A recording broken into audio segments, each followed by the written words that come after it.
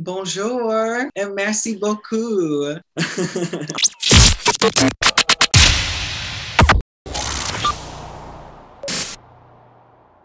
was such a blast getting to all reunite in Salt Lake City. I feel like we all love each other so much and we love making the show. So coming back together to do even more was just like such a delight. And we're all so lucky. It's like when you get that first script or when you hear the first song of the season, you're like, oh my God, this is happening. Um, it's, it's always fun. I think we all were just so excited to take on this musical. I feel like everyone knows Beauty and the Beast, uh, at least at some point in their life. Um, and it's just so magical. So I think we were all just so excited to dive into it and see how it worked throughout the plot of the show, um, in addition to obviously putting it up at the end of the season.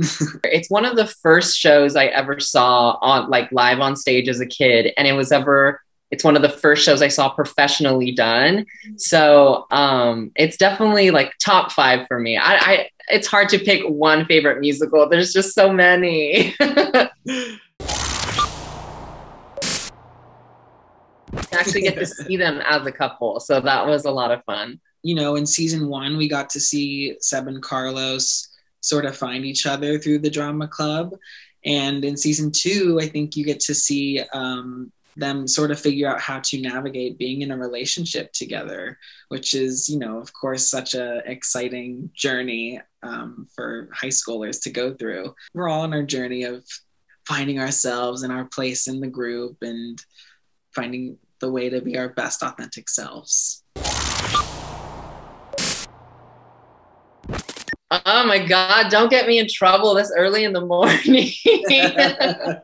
you have to watch. I mean, it's just like they're like the new Ross and Rachel. Like I think America's like what or everybody's like, what is gonna happen next? But you're so invested.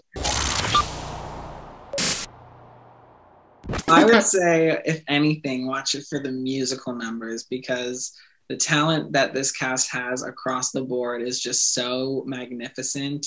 And I feel like everyone really brings something different to the show. And I just think it's worth seeing because I think a lot of these people are going to go really far in their lives. So we're kind of just seeing them at the start, you know? The best part is knowing there's something in my dreams that always makes me smile.